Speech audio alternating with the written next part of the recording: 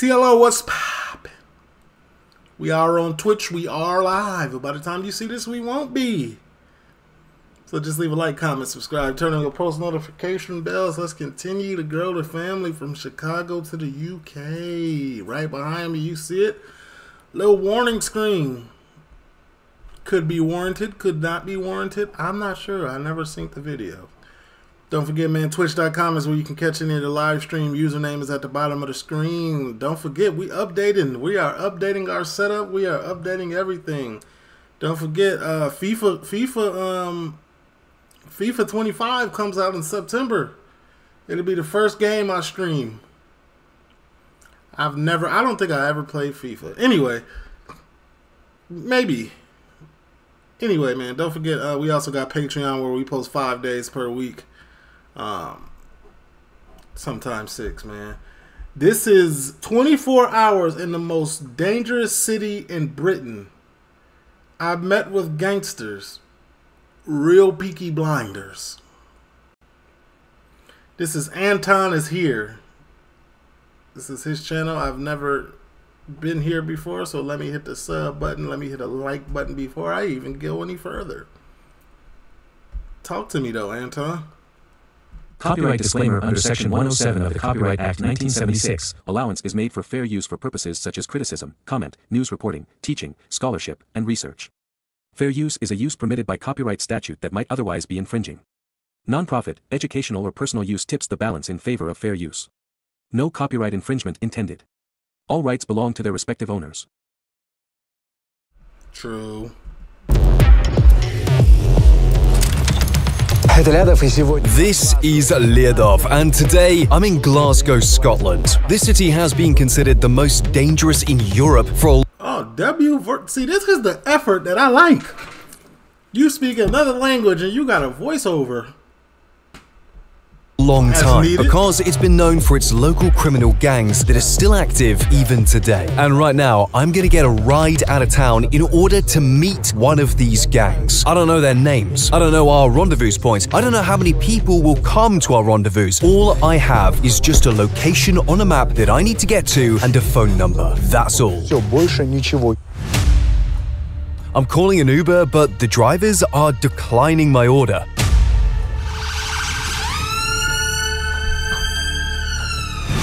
Not gonna lie, that used to happen to me all the time in Chicago when I was Ubering places. They was not coming to certain parts.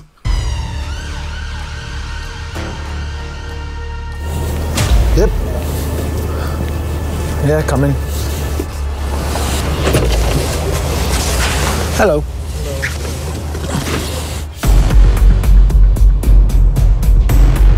What is hella dramatic?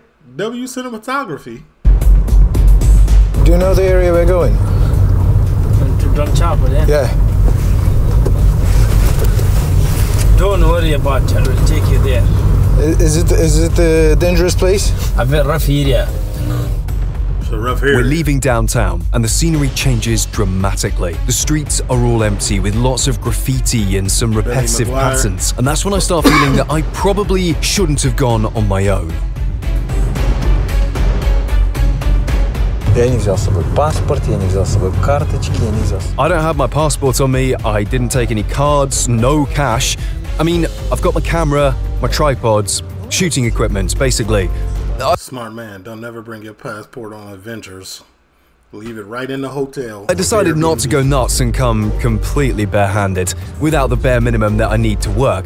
Because uh, I figured, well, Вот, э, ну, that if, you know, if I approach them and they agree to meet me, it would make no sense for them to just go on and rob me. You never know. I'm on my way to the neighborhood called Drumchapel. The local crime rate is officially 105 crimes per 1,000 people. That's a real number that means that at least every 10th person becomes a victim of a crime here. Most often, it's a car theft, robbery, assault, mugging, and so on. This is Europe's darkest alley, so to say. I decided to ask the cab driver for advice on how to behave around the locals. You going to their houses or just sitting outside, like the park? Uh, uh, so uh, the address is uh, just the point on the street. Yeah. Yes, in the street. I, So they gave you a pin drop? What they gave you? Coordinates? Do you think I shouldn't go to the house? Don't go to the house. Don't go to the house? No. Really? Don't trust me. What question you asking them? Like what? Of course, i'm don't ask them like, do you sell drugs, guys, or not? I don't. Ah, I don't ask this. Yeah. That kind of stuff. I think is the Instagram. Last year, the number of drug related deaths in Scotland was the lowest in five consecutive years, and yet that's still three times more than in the entire UK and a whole array of European countries. We reach the location and there's no one there. I'm getting pretty uncomfortable. And then an ice cream truck Not gonna lie, man. Scotland be. Uh, when I first started, not when I first started, but like, I met somebody from Scotland and they was turned up. truck stops right behind the cab and this creepy tune starts playing, bringing up memories of horror flicks. Uh, an ice cream truck has arrived. Oh my god. I see someone in a face mask.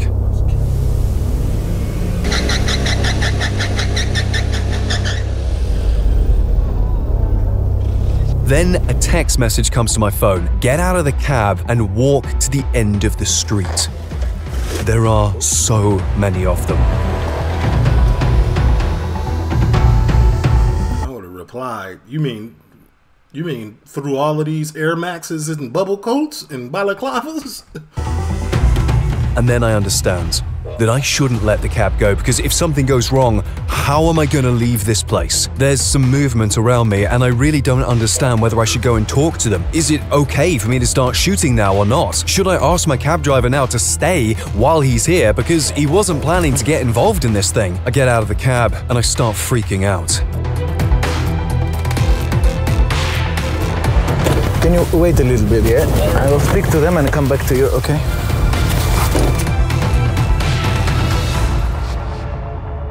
Then one guy from the crowd walks up to me. It all looks very strange. Why did Oh, okay.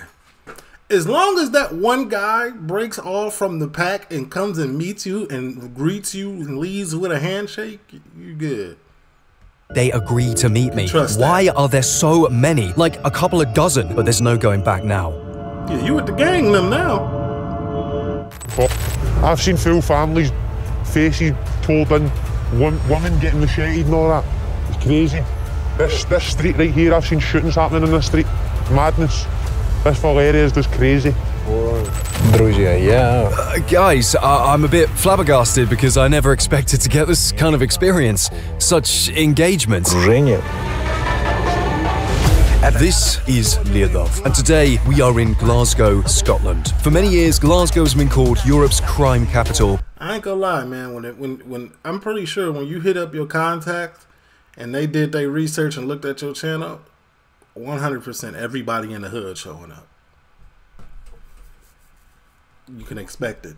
Because everything that has been happening here until 2007 was completely crazy. The murder rate was comparable to that in places like Costa Rica, El Salvador, Mexico, Venezuela. You know, places where a real drug war is going on. Ever since then, the crime rate in Glasgow has fallen by 25%, but the gangs good. have stayed around, and the gang culture too. Many gangs have been here for over hundred years, and investigative reports say that there are around 170 active gangs H, appreciate the sub today in tier. Glasgow with 3,000 to 5,000 members each. And today I am to meet some of them. This is Leodov reporting from Glasgow for the people.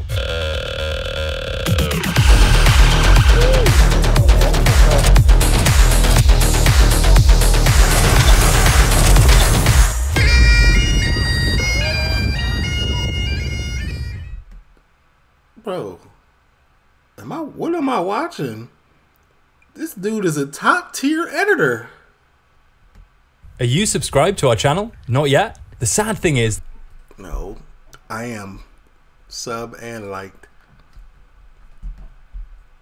The Anton now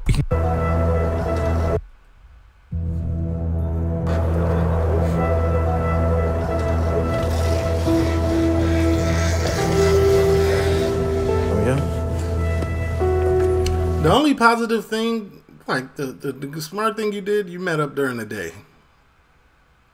At the end of the day, coming at the A day. guy in a face mask approaches me. He seems pretty friendly, so far so good. Right.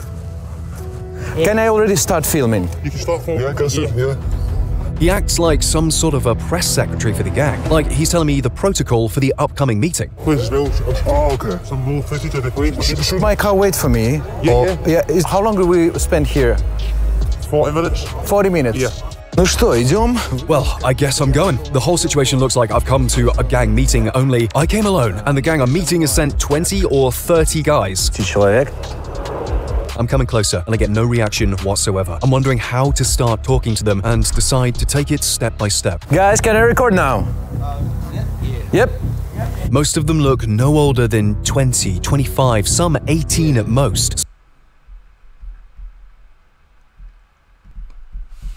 Some are putting up a show, doing tricks on their bikes. Some are avoiding the camera. Bad boy types, all of them. I feel like this is normal behavior. Like this is this is normal behavior. Nothing out of ordinary is happening right now. You would be more fearful if you went to meet and there was only three people. But since there's this many people, they're just trying to they're just trying to put on a show for you. You know what I'm saying? They look very good? confident. that make my mind scared, hold me hostage, and they don't fight They fair. got the yeah, they got the what is this called? Uh, What what? Uh, they got money if they they got the the electric s- bikes. They got the scooters out. They got the four x fours out. They, Who gon' pray for me and wipe all my tears? Who gon' Two of them. me if you not right here? It kind of feels like it's their neighborhood and they are in charge here. I still have trouble gauging their take on me. They don't seem unfriendly, neither do they seem friendly. It feels more like they're still screening me and figuring out whether they can trust me. Nice to meet you guys. I'm Anton. What's your name, bro? I'm Anton. Anton, bro. Yeah.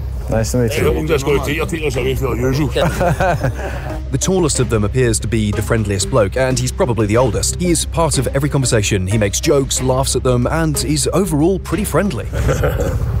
Ronnie, man. Shut up, bro. Cut that bit out, mate. You're a fucking This guy seems to be in charge. He keeps ordering other blokes to shut up when they say something they shouldn't. You're not speaking. Cut that last bit.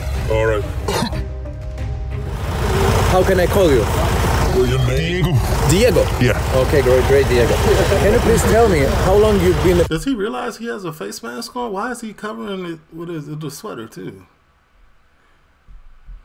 part of this group? My full life. My full life, bro. I'm life. 25. Well, since you were five. Since, I, no, since I've been zero. Since I was right about that. it. Diego is in charge of this group. He gave me two conditions. First, not to expose anyone's faces on the footage, although no one here is recognizable anyway, and to blur all the license plates on the vehicles, bikes or buggies alike. Condition number two is that he tells me who or what I can or cannot film. He said that I have to film this dude who's got his entire face covered and show him as an example. He's been a faithful and loyal member of the gang since he was eight. Eight!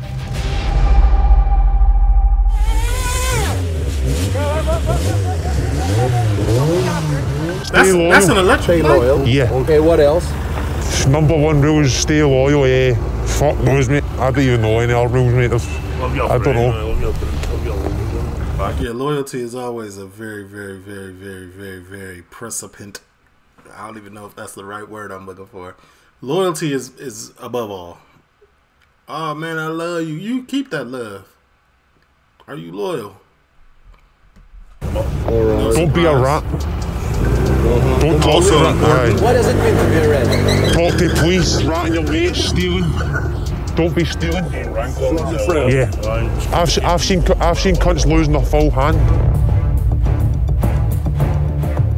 On a local scale, this is a pretty legendary gang. Diego says it was here long before he was born. Today, the gang has an Instagram account where it positions itself as a garage based music band. The guys joined the gang pretty early, mostly when they were around 10 years old. They are all here on equal footing and consider the gang their family. And they are all part of this hood. Look, three local guys walk by and they all look like they know this crowd. They even shake hands with some of the dudes. I'm sure they know their names and where they live. All this show Definitely. with the masks is just for me. How can I call you? JP. JP. Aye, JP. Can you please tell me what's it like for you to be in this team, in this group? This team, is a family, mate. It's a family. It's- when you're on this team, mate, You're untouchable. That's the way it feels when I'm talking. Aye, untouchable, bro. On the hood, yes? In, the, in this neighborhood? Aye, and aye, nobody will touch you. If you're in part of this team, aye, nobody will touch you. To be honest, I understand uh, half of what they say. Well, maybe 70% or so, because the Glasgow dialect is the least understandable of all the dialects I have ever heard. The accents Oh God, like I'm having a hard time right now. On top of the mask, and then the double coverage of the mask. is I'm trying, strong, though. but one word stood out and was easy to get. Normal life of your group. What, what, what's it like? What do you do? Hectic, mate. Hectic. Hectic. Money. Money. Money's the motive, mate. Aye. Money's the motive. Uh, like, so the group is also earning money, yeah? Aye. Mo- well, aye. Money, aye. Could say so, mate. Aye. Madness, mate. The life we live's crazy. Stolen cars. It's crazy up here, mate. Uh huh. So, is this like you do this by tasks, or I mean, like someone decides what he's doing on uh, every day? It's just everybody's just money you know what I mean? So everybody's just thinking, what can we do here for money? It's hungry bellies, everybody's got to eat. So it's a big team we've got to feed, you know what I mean? Can I ask you about uh, the how much money you get, more or less, per month, per day, per year?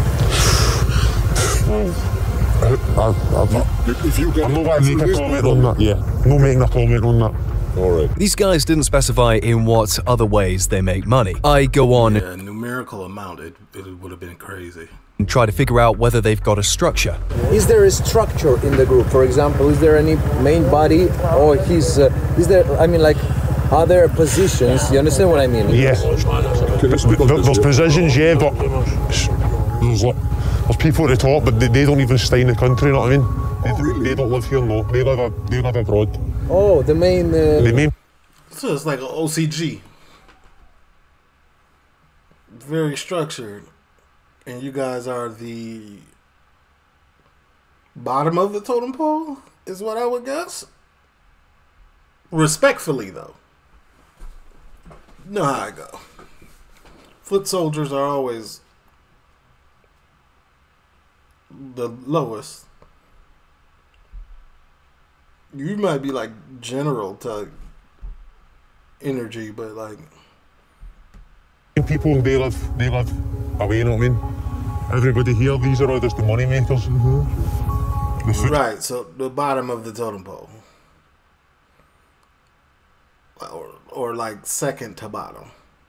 soldiers, you know what My No, understanding no, no, bottom. is that they all consider each other brothers, and the gang not only protects its members from other gangs, but also takes care of them, makes sure they've got food on the table, and even pays their debts. Can you remember some situation in which the team helped you? Maybe some situation in your life, in your family, in your I don't know. When I was younger, I used to get myself in debt. And it used to all How much did you? thousands, 30, 40,000, 50,000, it's just all stupid shit.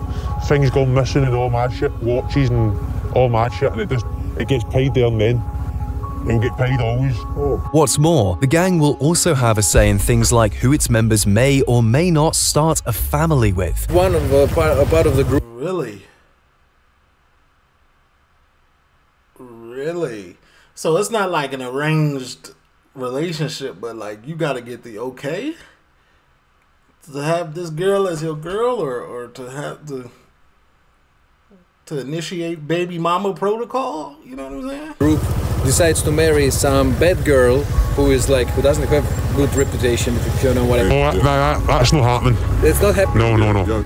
So you mean you, you don't let your guys to To shag sluts, no, fuck that. You need a good girl.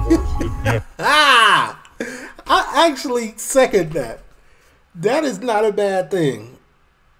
You can't let your bro go down that road. Not even in, in this is just guy code. If your girl is the neighborhood bicycle, you when your guy is supposed to tell you like, hey, hey, you don't want that smoke. You do not want that type of lifestyle. Because at the end of the day, you can't save nothing. That's tough. Yeah, fuck that shit. in, in, in Russia, I don't know about this. For example, if someone kisses the girl who is slut Yeah. and the team knows he's getting punishment for this. Does, uh, Kisses? I'm not gonna lie, that's diabolical.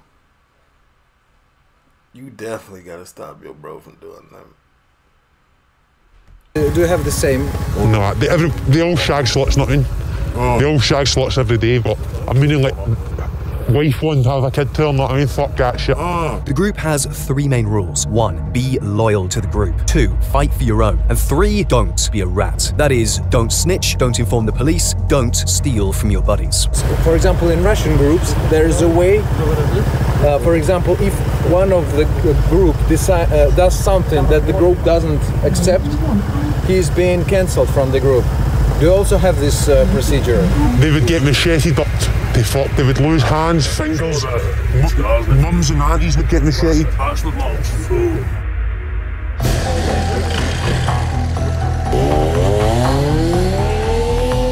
I don't know how much of this I ain't gonna lie. Whoever this this firm or this uh this group of people right here, yeah, they got money. Nobody in this group is is is down bad. Like everybody is dressed with the top hood apparel.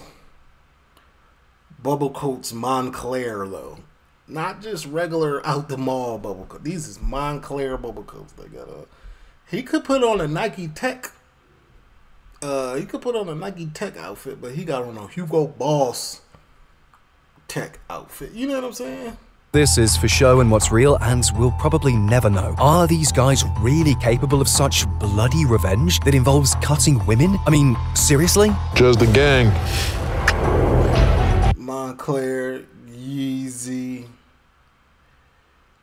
I said Moncler. I didn't mean to say Moncler. Don't nobody got no Moncler. They might be. These might be new, new people. I think they've relaxed a bit, and now it looks like they've decided to put up a bit of a show, doing tricks and burnouts on their motorbikes like boys do, competing to see who can do the cooler trick. Here is a big open lawn of sorts with green grass where the guys ride their motorbikes and buggies, doing tricks and all sorts of maneuvers.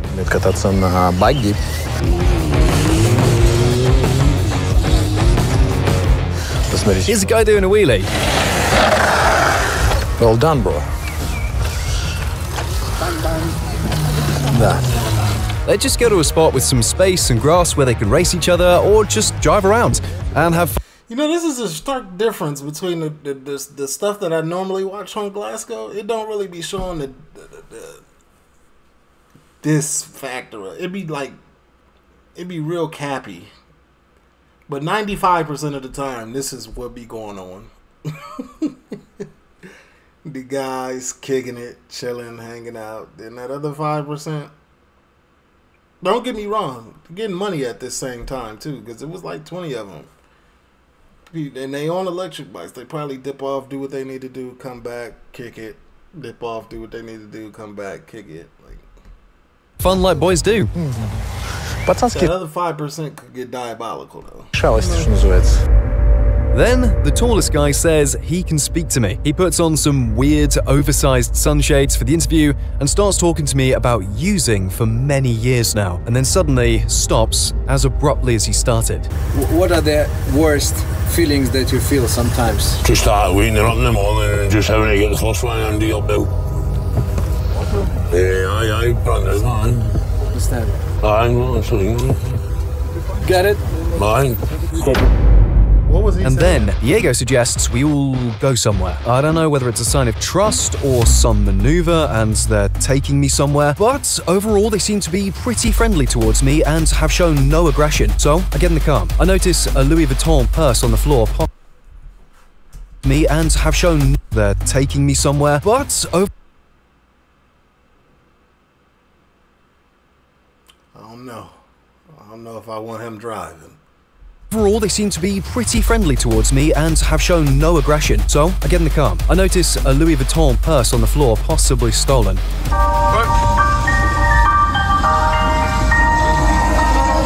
I want three. Is that you?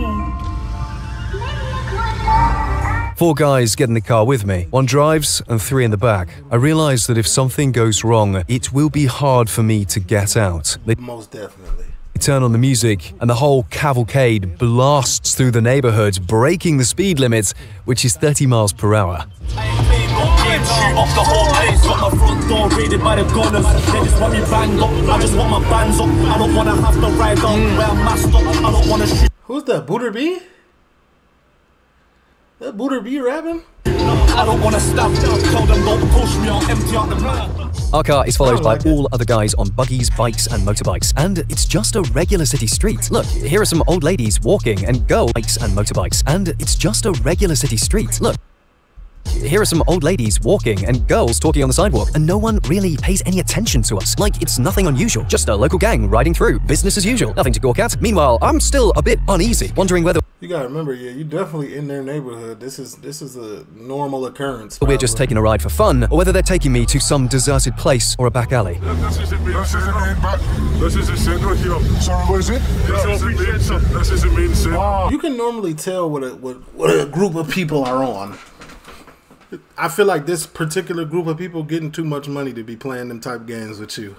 That would bring way too much unwanted attention. This is main centre. Yeah, yeah, yeah. yeah. Right, straight up. What, what do you mean main centre? What is The shopping, shopping centre. That's right. This is the walk on the out spot. The walk on the out spot. Ah, okay. Let's go.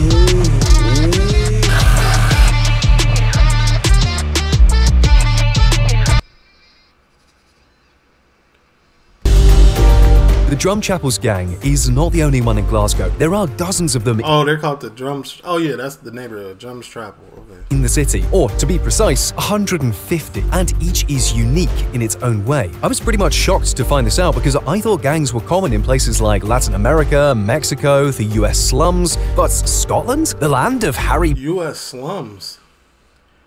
Nah, it, not just the slums in the U.S. either. Them ones everywhere. Potter, notoriously bad weather, and the They're more aggressive in the slum, in the in the hood, in the, in the slums, but they're everywhere. Festival with its stunning artistic performances. But as it turns out, almost 10% of the local population are members of Glasgow gangs, and it's been that way for years, over a century even. Gangs have their own rules, their code, and even culture, and their methods are often extremely brutal. For example, local gangs have a particular way to deal with their victims that leaves distinctive marks, telling the person was dealt with by the gangsters of Glasgow. Guys, if you Glasgow Smile, he talking about, ain't he?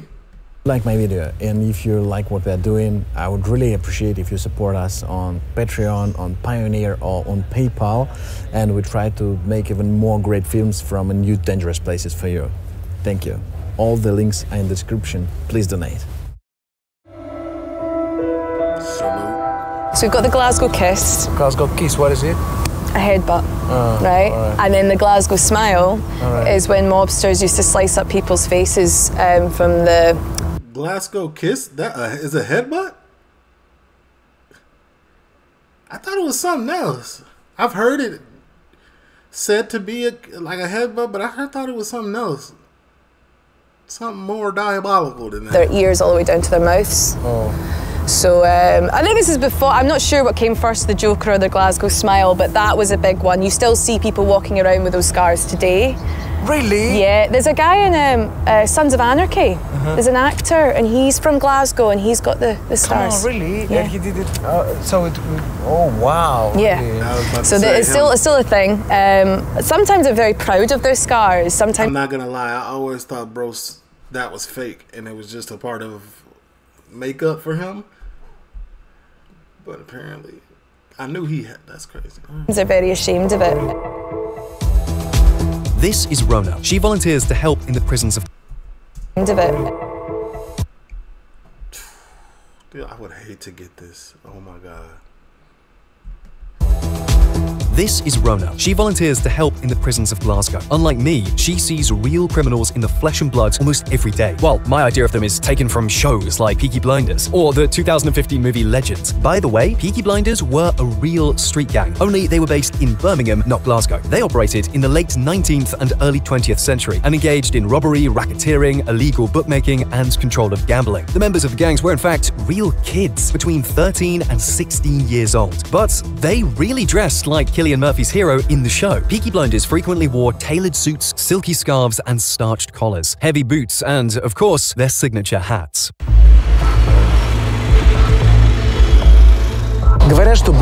The popular story behind the name Peaky Blinders says that the gang members would stitch disposable razor blades into the peaks of their flat caps, the kind they wore in Birmingham, like this, so that they could be concealed but also used at any time as weapons, so they could cut someone's face or neck at any moment. But the real story behind the name is honestly a lot simpler. It was all completely different. You see, disposable razor blades were patented by Gillette in the USA in the early 20th century, and they didn't make it to market in the UK until much later, so that's too late. Also, it was a rare and expensive commodity, not the type street gang members could afford. And one more compelling reason is that a razor blade in a hat is absolutely useless as a weapon in a street fight. Just imagine someone is about to attack me and I have to engage. What do I do? Do I grab my hat with my hand like this so I could use it? And then what? See, if I'm holding it like this, I can't really use it. I must change my grip, right? To do that, I'll need to use my other hand. And while I'm tossing my hat from hand to hand, I'm pretty sure the other guy will have had enough time to take me out. If I try to grab my hat from behind and use it to cut like this, it doesn't work either because this way I open my head and my face to any blow, which is against fighting logic. In a fight, you've got to keep your right hand in front of you. No street fighter in their right mind would willingly remove their right hand from in front of their head. So they actually ne- Mm, unless you fight Southpaw. never used razor blades in street fights. What did they use? Their fists, heavy rocks, sticks, and knives that are a lot handier in a street fight than a razor blade. So, why Peaky Blinders? Fashion seems to be the more reasonable answer. It's possible that the name caught on because the gangsters like to wear their signature flat caps, with a peak not facing front, but over one eye, as a blinder of sorts, which gives us the Peaky Blinder moniker. So, most likely, it had nothing to do with razor blades concealed in hats, but with fashion and elegance. And those street gangsters really valued an elegant look. After World War II, former street gang members returned home to Glasgow and became real gangsters with firearms, hand grenades, and all sorts of serious weapons. Glasgow emerged as the crime capital of Scotland. By 1960, 40% of all crimes in Scotland were committed in Glasgow, even though the city's population was only 1 million people against over 5 million in the entirety of Scotland.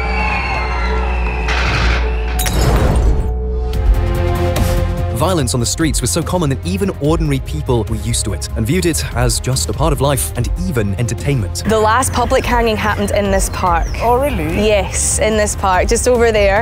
Um, but yes, the last public executions, we did them out here for everyone to enjoy. Will, do you want me to tell you? About him. Peter Manuel was arrested for the rape and murder of two 17 year old girls and the massacre of two Lanarkshire families, one of which happened on New Year's Day. Peter, Doris, and their 10 year old son were ruthlessly slain, and the killer lived in the house with the corpses for up to a week, eating their leftover Hogmanay meal and feeding their cat. And uh, this park was also the home of um, the Glasgow Fair.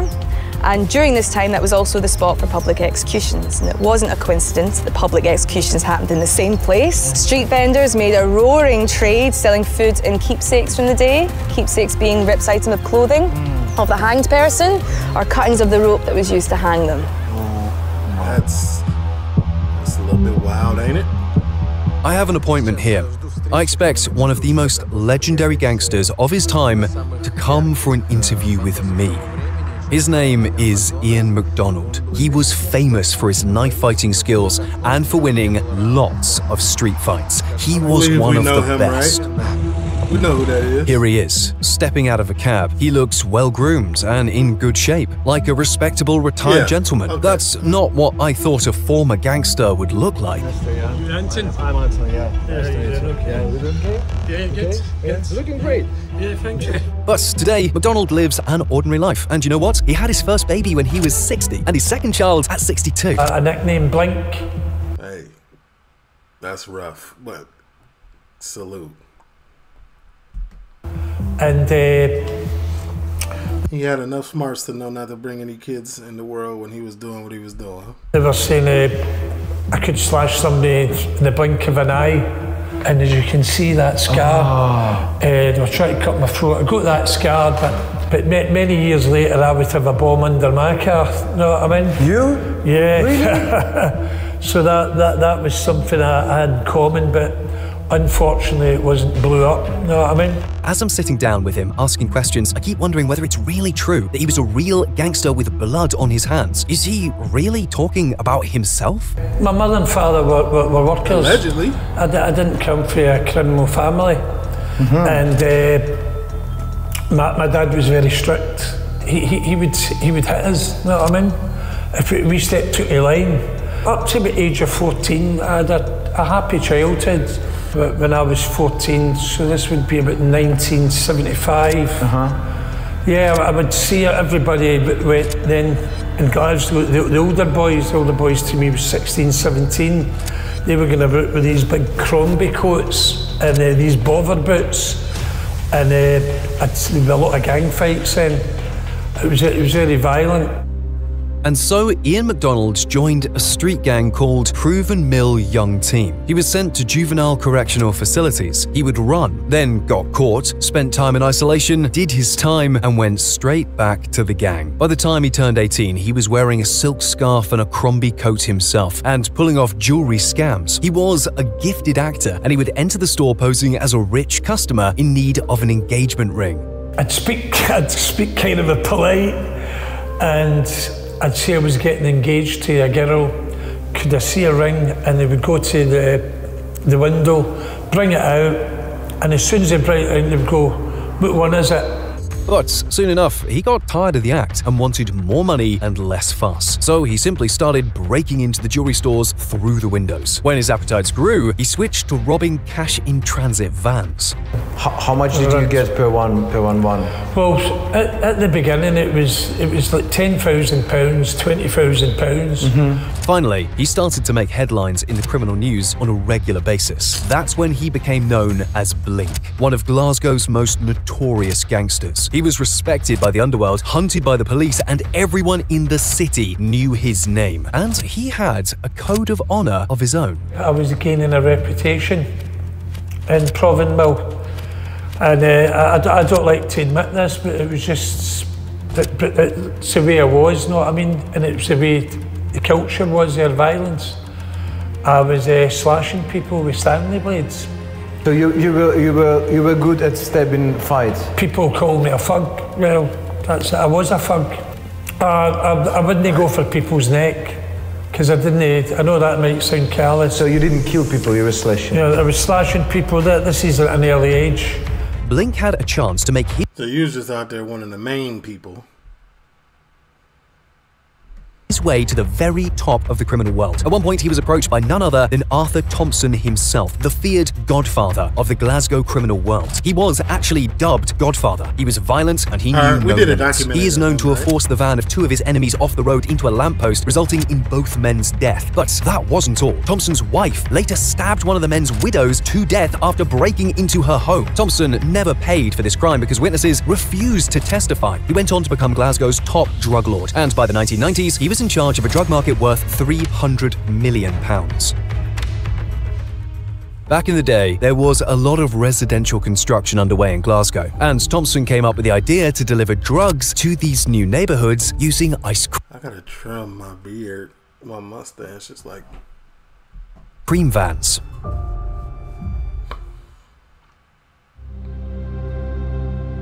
They didn't just sell ice cream and sweeties, they also sold bread and milk and cigarettes and newspapers. And in the 80s, the criminals got involved, and some of these ice cream vans started selling drugs.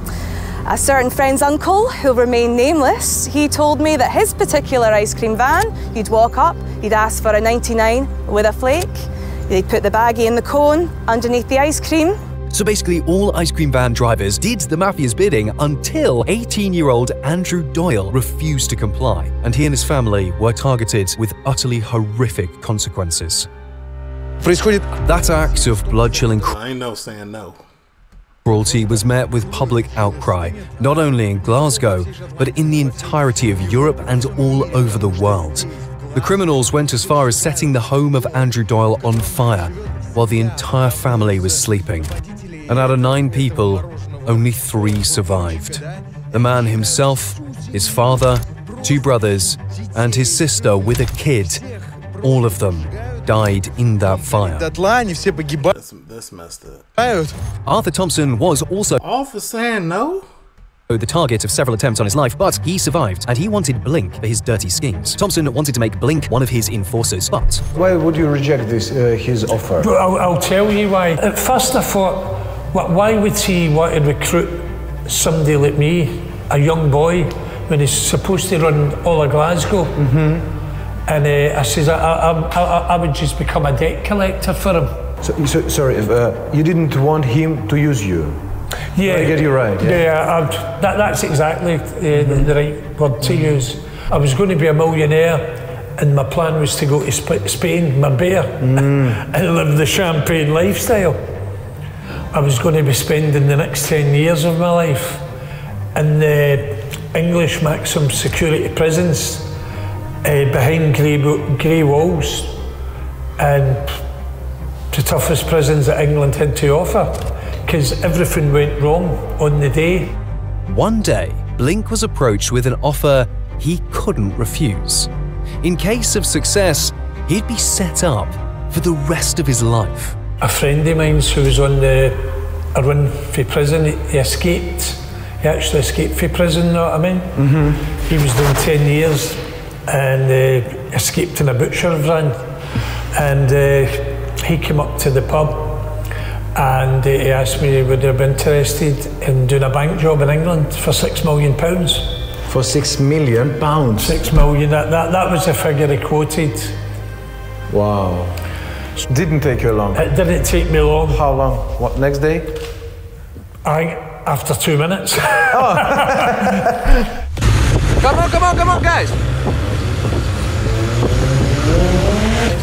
It's interesting that it's a regular neighborhood and people go about their lives as usual. There are guys in the street, like over there, there's a man, and he is just watching all of this.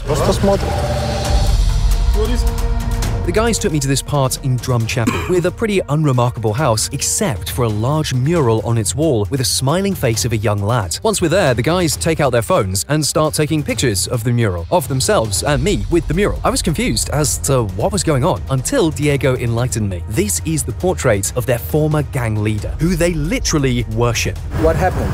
He got murdered. Oh. He got stabbed in his sleep. Do you know who did it? Yeah, he's a rat bag. I'm not going to mention any names, but his full family have been terrorised, moved out of the drum, and they've been terrorised in the jail. That's all I'm going to say. Oh. For the boy, for the king of the drum. Allegedly. I don't know what this young chap did for all of them, but they are still loyal to him. He's just a madman. Nobody would say boo to him in the drum, because he would get fucking terrorised that same night. He's the king born of Drumchapel. Aye. That's who he is. Now he's an i- he's icon now, yeah? Now he's looking down on all of us, giving us all good luck. Do you often re- recall him? Do you often remi- remember him? Every day. Oh. He meant a lot for you. Yeah. I would assume that uh, this is a like Christian or Catholic community. Like this is like in in the reality of it is, bro is an active gang leader, probably doing diabolical things or the reason for diabolical things. So it's very doubtful that he was he's looking down on anyone. R.I.P. But the reality of it is, as a mainly Catholic or Christian community, like he's probably looking up.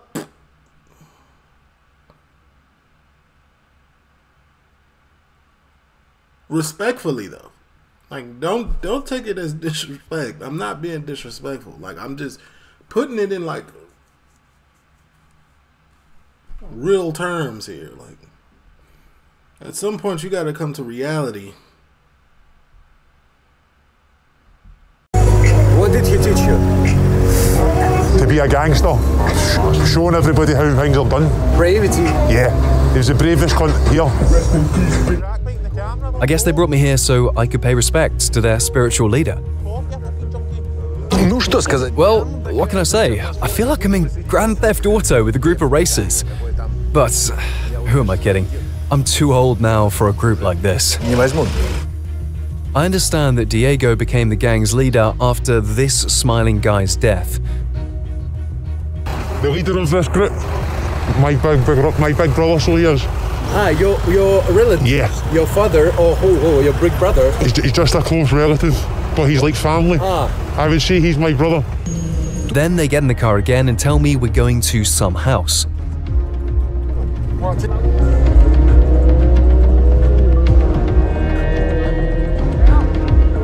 We're off to some house that seems to be important for the guys. The guys keep telling me we'll go to a house. What house? Why? What's trap. going on there? It's getting It's dark trap. soon. It's been way more than the 40 minutes we initially agreed to spend together. I feel like it's been at least three or four hours, and I really don't understand why these guys are still hanging around with me. We finally get to a residence, and the guys tell me to come in with them, and I really don't like the idea. Also, my cab driver's warning comes to mind. Do, do you think I shouldn't go to the house? I think I'm not allowed, guys. Really, just because of the journalism rules. If I give you the mic, uh, the, the camera, can you just give me some tour? Yeah, you- yeah. It's on. You just, you just, you just go. Is it on just now? Yeah, it's just on, yeah. Sorry? I pressed the button down there, bro. No, no. Ah. Don't worry, bro. No, you know, it's just, yeah, Uh, but just because of my journalism rules, I cannot enter the house. Can you know? Unfortunately, but the camera can go with inside, and it's alright. So I try to wiggle my way out of this invitation and wait it all out outside. But the guys obviously seem confused why I'm taking so long and insist that I simply come in. Then a woman comes out. She seems a bit off, but it's her house. I ask for her permission to enter, secretly hoping she'll say no. Oh man, I know what this is. This is this. Okay.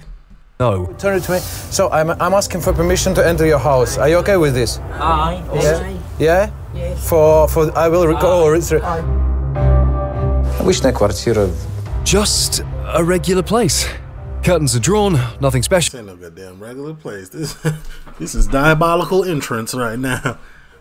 We all from the outside know what this is, eh? Sure, not so dirty as one could expect, by the way.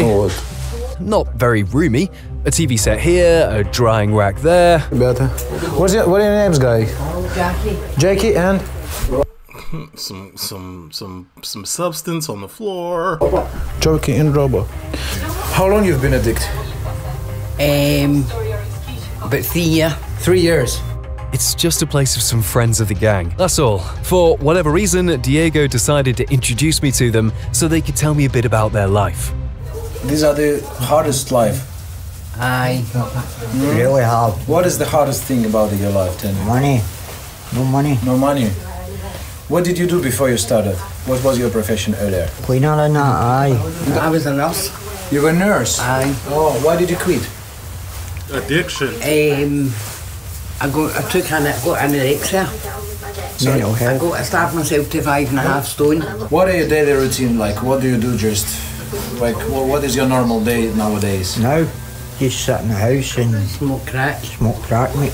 Did you ever think about quitting? Did you ever try? I can quit. It's no, it's no, it's no physical withdrawals. It's no sore. Did you try to quit? Aye. Yeah? Quit before, but What was the maximum days you didn't uh, get it? Or hours? How many years you were clean? uh, seven. Day I go to prison one time. Rob is in the same business as the other guys who brought me here theft and robbery. I done a petrol station when I was 16 and got four years for that. Replica. Did you do it on your own or with someone else? Oh, this is a customer. Just on myself. How did you do this? Just went in and done it. You had a gun? Aye, it was in a different town, but aye. I went in and done that. Um, and that's when I started my criminal history and they arrested them in the classroom for drugs. What do you feel in the moment? Can I ask you? Anxious. Anxious. Waiting on something. So you, you Mm-hmm. Mm-hmm. It's been a long time since our last dibble and dabble. You you She getting uh, you did some movements, yeah? This is this, this is what you feel, yeah? Aye, strung out. Agitates me. Agitates me. She's agitated. Agitated. Agitated. Jackie seems to be going into one of her fits. She starts rocking back and forth, and Rob also seems to be losing the meaning of what I say. His stare becomes absent. The guys decide it's time to wrap it up. Okay. It's all good, mate. No, it's all good, mate. It's all good. It's all good. It's all good. Did you get a bit? It's okay, mate. It's okay. Yeah, they need their next fit. They're getting too angry about it. Keep give it in, man. All right, I understand. Yeah, this their house, but it ain't their house at the same time. So, me and another friend. That was crazy. We, we took the guns and overalls, masks, uh, walkie talkies, things like that. And uh, we travelled down to England by the train. And we met my friend who was on the run. He'd already set up a base. We get down there and he says that this caravan site, this huge caravan site, that was the base. So we, we, we were there. When Blink said caravan, he meant a trailer. It turns out trailers were great as a base for criminals planning a heist and could also be used to stake out the target 24 7. For a few days, then we were watching this bank. Their target was the National Westminster Bank's HQ in England, known as NatWest. This bank is still active and popular even today. We It's got offices documentary all this too. over Great Britain, and their bank robbery plan was pretty simple. What was the plan? The, the plan was the plan was broke into during the night, and when the staff were coming in in the morning, they, they were getting taken hostage. So, so, so, so that happened. That happened, and my friends were in there with a spy hole, and they could see this vault. Ah, wow. So they could see the vault, jumping out, rounding them up, and taking the money. Mm-hmm. I'm sad to say, it all went disastrously wrong. The vault getting opened, rounded up the bank staff on the floor, shouting, Where's the fucking money? Blah, blah, blah, blah. They weren't messing about. And nobody was saying anything. So one of my friends fired a shotgun into the ceiling and plaster came down. I remember this And story. unfortunately, it hit a girl in the face. So, Yeah. so he was grabbed and he was running to the, the vault and he had his head put through the, the bars. And my friend had a shotgun at him and he says, I'm no fucking about. He says, open this. And he was trying to say, none of us have got the key. The guy that's got the key is late for work. The dude was simply late for work. How do you like that? The bank is attacked by robbers, there's gunfire, hostage situation, someone got wounded, and the key person who's got the key to the vault is late. He woke there. up late or got into a traffic jam, whatever. And when McDonald and his buddies realized that they're not getting access to the money without that key, they simply fled the scene. And that's what happened two hours after that. And somebody jumped out the bushes. And the guy was about six feet tall, he had a leather jacket, and he had a gun. It looked like a magnum gun to me, or a Colt 45, these armed police. Mm-hmm. He says, get down on the fucking ground. So, by this time, my whole world just fell apart. Know what I mean? I was handcuffed to my friend. Mm-hmm. He put us in this caravan. So we kept looking out, opening the curtain and looking out, and people were walking over to him. And I says to my friend, see the next time somebody goes over to him to talk, I'm not sitting here waiting to get 20 years.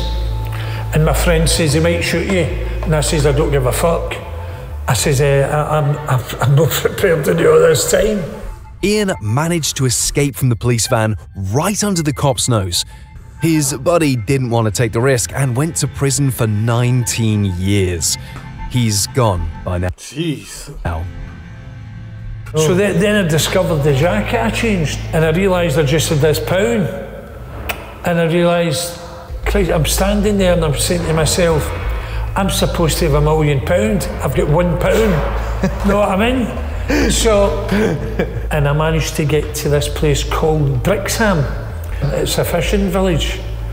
So I got to there and I was hiding in woods and I managed to get a phone call I stayed there till 12 o'clock at night and somebody came from London, picked me up.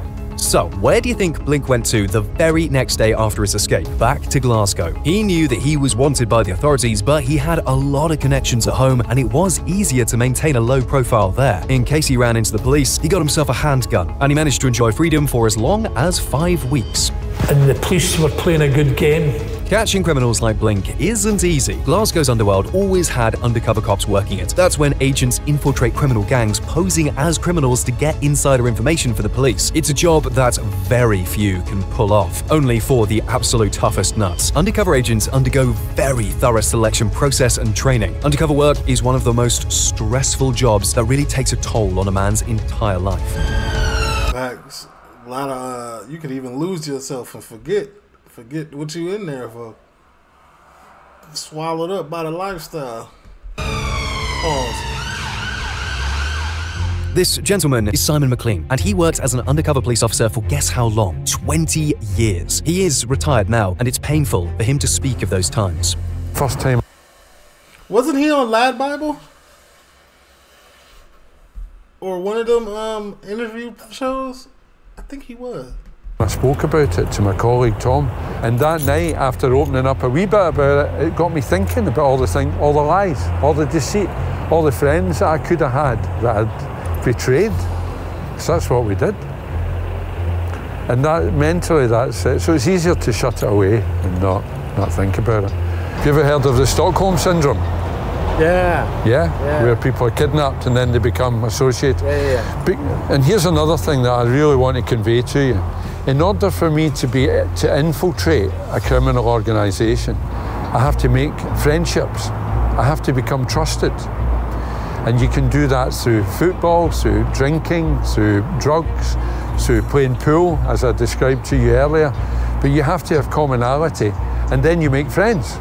Simon tells me that many of his fellow undercover cops ended up with severe PTSD. Some became addicted to drugs, and quite a few even tried to take their own lives. Living That's imaginable. That is that is sounds about right. a double life in a hostile environment for decades can literally drive people crazy. And if they are discovered, they risk being tortured and brutally killed for being a rat, a snitch.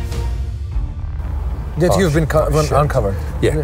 Because you can't just run What, what, do away. feel in, what do you feel inside at that moment? Scared. Yeah. But you can't give that away. So the way you deal with and and let me give you an example. Right? I remember a, a guy who said he was going to shoot the police. He was going to kill a policeman rather than be taken alive. He was on the run. And when we arrested him, uh, we rammed his car and a shot went off actually. Uh, and I jumped out of my side of the car and I had a baseball bat. And I jumped on on his car and I was smashing the. This guy said he's going to shoot a policeman, and by the time he did that and I was smashed the windscreen, he was arrested. Oh. So the way you deal with threat is with violence and with bravado and with wow looniness. Yeah. You never go. You never shrink. You never go. Oh well, you've caught me now. An undercover cop must become a trusted member of the gang. He must think like a criminal, act like a criminal, smash cars with a bat if needs be, listen to the same music and drink the same drinks. It's impossible to just pretend to do all that. He must become a real criminal in order to do this job. And I'll tell you a story. That's why a lot of people get lost in it. In Too Deep.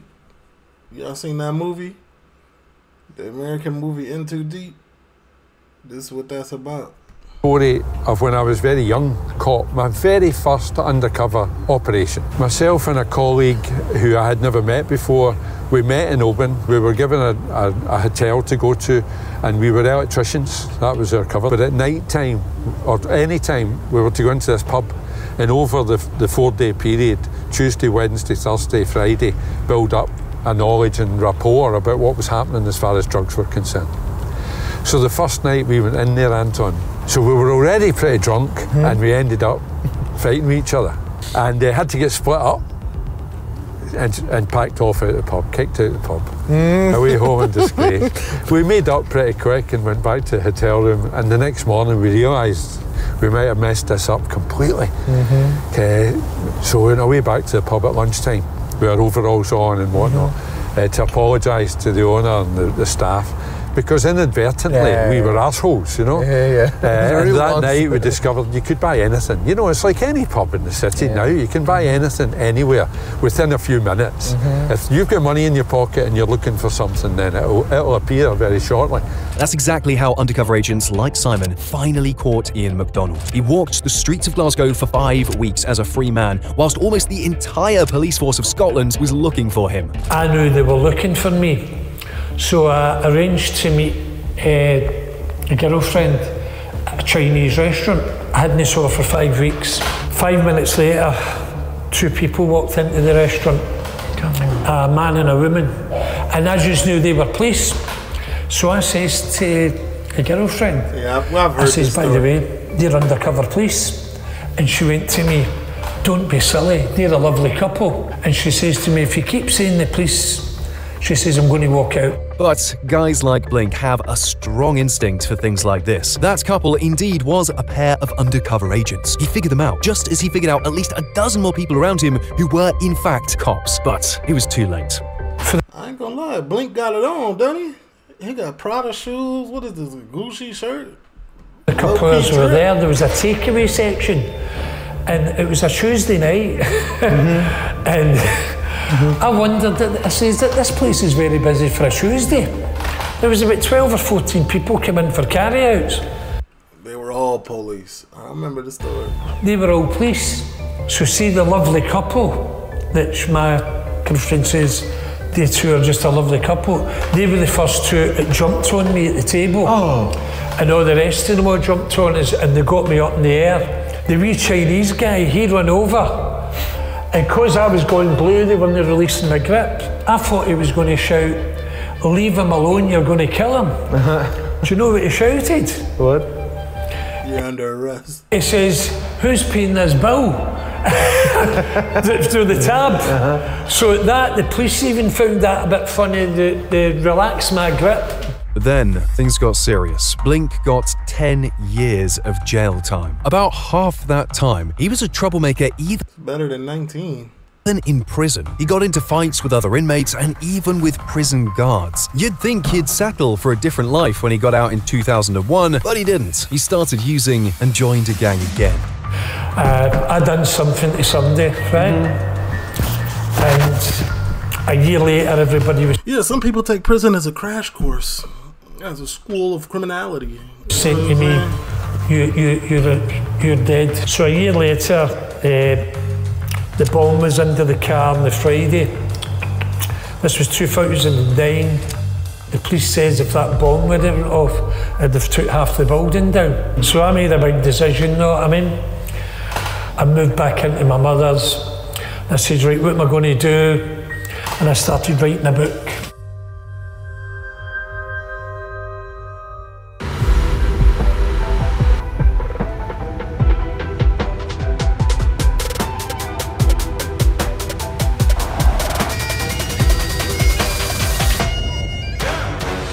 Glasgow has become a lot more peaceful in the last 15 years. Despite the enormous toll on their lives, the Glasgow police has succeeded in driving down the crime and violence rate in the city. Today, London is in fact more criminalised than Scotland's largest city. It's true that Glasgow has some seedy areas, but overall, it no longer lives up to the title of the criminal capital of Europe.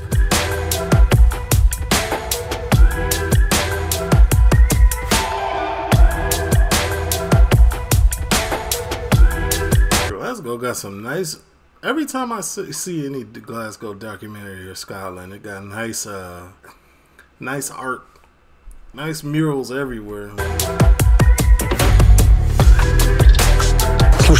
You know, my first impression of Glasgow is it's not as scary as people picture it. I mean, seriously, here I am walking a street downtown. The city is located on hilly terrain, so you've got lots of really nice perspectives. For example, this road goes down and you can see that big, tall neo Gothic church tower in the distance. And it's both massive and majestic and old. To me, the city looks Very a lot nice. like Edinburgh, which is one of the most beautiful cities in terms of architecture that I've ever seen. Or, for example, look here. That railway station once had the fame of the most dangerous one in all of Great Britain. Lots of very dark business was conducted there on a daily basis. But as far as the architecture goes, it's all truly amazing here. Look at these buildings with all these clocks and towers and all the ornaments all over them. brings to mind the amazing buildings in the Harry Potter universe. В стиле прям вот Гарри Поттера.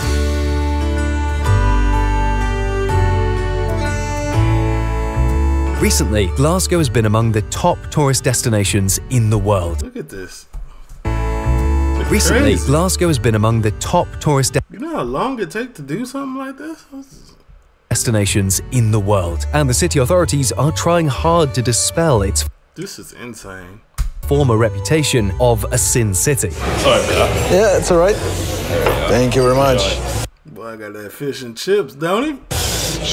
Well, gangs or no gangs, a fellow needs to eat, right? I've got all the Scottish signature food here. I'll tell you in detail what we've got here and then we'll try it. Right, so here I've got haggis. It's made of sheep's pluck. That's heart. I've had haggis before, but what is all that other stuff? That's liver and lungs, all minced together with spices. And it's traditionally cooked while encased in the animal's. While encased in the animal's abomasum. Uh, uh, stomach a- abomasum, abomasum. uh, I'm not sure how to pronounce that. It's the fourth stomach of the ruminant animal. Basically, it's a sheep's stomach, the one where digestion takes place. Oh well, okay, sounds very appetizing, right? I am all Eat it. What is what is the rest of it? impatient. But I'll be honest, I already ate it before knowing what it's made of, and I liked it. So now I'm gonna try it as a newly enlightened man другим человеком. I'm so hungry that I don't give the slightest of damns what it's made of, honestly. You'll probably see my face is getting red. That's because I'm out all day in this cold weather. This here is fish and chips. That's fried fish in batter, and it's a nice big, big chunk of We it. know about all of this. Food for simple. Typical Brit cuisine, man. TLO, leave a like, comment, subscribe. Very enlightening documentary. Covered a lot of bases. Oh wait, wait, we're not done. Hold on. Let's get. Let's. All right, we're done with the food. Gangs will become a part of the history of this city, but I think that they won't be completely forgotten because gangs here mean a lot more than just some local punks hanging out together. They've got a culture of their own. I realized it after I left the guy's friend's house and we said goodbye. The guys. Друзья, я немножко Well, guys, I am a bit flabbergasted because I never expected to get this kind of experience, such engagement. um, These guys had no motive to talk to me, or I don't understand what it could be. If they're interested in getting an online following, why do they cover up their faces? That's always what I think it is. Unprecedented access to in- all gang activity. F- What do you gain out of it? Just a little bit of notoriety. популярности, но при этом как I think now it's because they really love. You can see that they have marked every corner, every house with their gang's signature. у них везде, они на каждом заборе рисуют And I think that the gang really gives them something that they value so much right, that they are willing to talk about it and to show it to others. That's really what it is. I was pretty much alright all the time I was with them. На самом деле, I wasn't scared out of my senses or anything like that, but I was really shocked to see that this thing is in fact real. Here they are, all these guys standing right in front of me, telling and showing me things. показывают. Do you know Bible studies or basic instructions before leaving after all, right, or something like this? Destined for heaven because I'm living in hell. What did he say? Tell, leave a like, comment.